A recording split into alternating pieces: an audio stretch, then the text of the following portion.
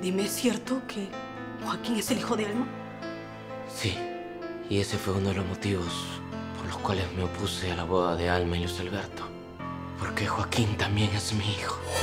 Una confesión. Pero igual siento que esta situación ya no da para más. ¿A qué te refieres?